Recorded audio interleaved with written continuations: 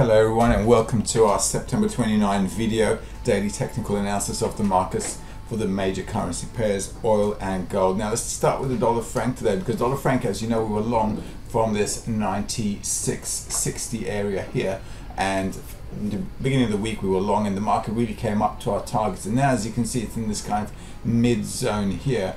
Only if it breaks above here we have higher targets. So we'll have to keep an eye on it. But trading here at this moment is not um, is not very suitable at all so we either need to wait for a pullback to buy or a breakout of this resistance to buy or um, to wait for the market to come up higher in order to look for a sell position so let's just keep dollar franc aside for the moment as you know yesterday the Fed um, uh, President Yellen spoke and the European Central Bank President Draghi spoke. So after those speeches, the market is a bit sideways at the moment.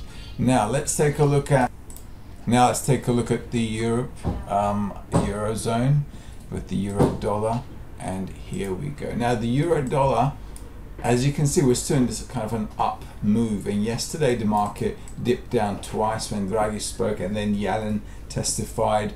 Um, so this uptrend might actually hold. Um, so we're going to take a look at that today. Let's take a look at this a bit in depth.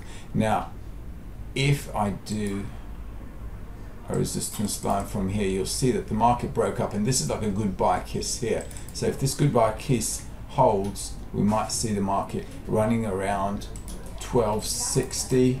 Let's just do this. All right, down here 1250, let's say.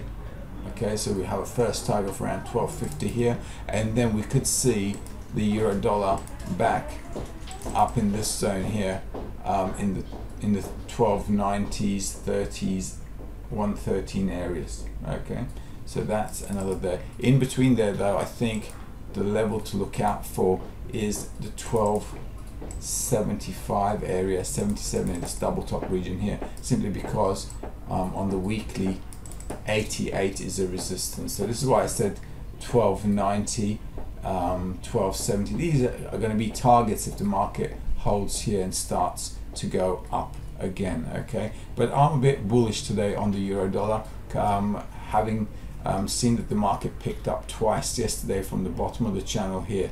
I'd be more inclined to go long on this currency pair than short today. Let's take a look at the dollar CAD. Dollar Canadian. Yesterday I said if it breaks down from here, you can go short, and as you can see, it's right at the bottom of the channel right now. Well, it's that is a big fall. Um, Poloz had spoken this week, so all that has kind of made this currency pair kind of crumble down. The dollar CAD is at the bottom here. What to do with that? Well, not to do anything right now. So if you took profit, just stay put because um, after the breakdown yesterday it just like really crashed down as you can see so don't do anything with this at the moment what we might want to do is bit surprising I didn't actually follow this up yesterday I should have oh it was a good good trade. Um, what to do with the dollar Canadian? You would only be um, continuing to sell this off. Um, I can't think of anything else to do. Um, if you go to your one hour chart what you might want to do is pick up a retracement level which should be, let's pick up one with the Fibonacci. So you might want to start selling off again around there, which is 31, 30, 40 region there. Okay, so if the market kind of picks up there, this 30, um, 31, 30, 31, 40 area, Yep, 31, 30 and 31, 60 area going to be a good retracement for a sell-off again with this currency pair. Aussie dollar. Aussie dollar still looking a bit um, looks like it feels like it's going to fall down but what I want to do with the Aussie dollar is I don't want to sell it right now. As you might recall in the beginning of the week I noted this level here. For me that's still holding on. The 7750 region here for me is a good spot to sell the Aussie dollar. So I'm not really that inclined to sell it off right now even though it might look like a shorting position. So what I want to do is basically keep this um, and sell it only around 77.30 77.50 and I don't want to be taken back by any kind of a downfall that you see here with the four hour bars Um, so I don't want to take that as a bait. I only want to sell if the market pops its head up to those levels. Um, that's also a strategy, that's also a mentality that I think main traders need to have as well. That you've done your technical analysis, you've determined your levels, and you just need to wait for the market to come there before you go ahead and do anything and rush into the market.